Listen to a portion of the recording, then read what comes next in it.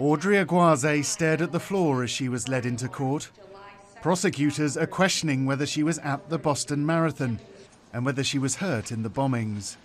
The 26 year old's accused of faking a brain injury and claiming nearly half a million dollars from a fund for the victims.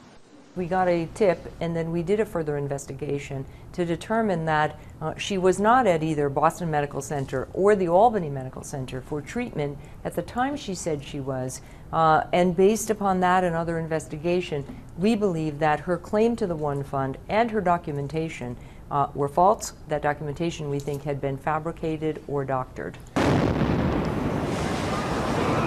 The attacks killed three people and wounded more than 260.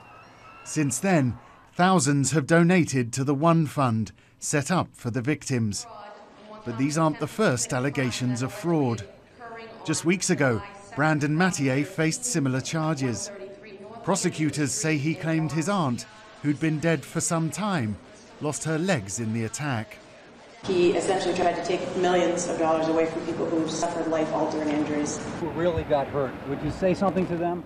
As a result of these cases, there are now tighter checks on those claiming to be victims of the Boston Marathon bombings. Stephen Douglas, Sky News.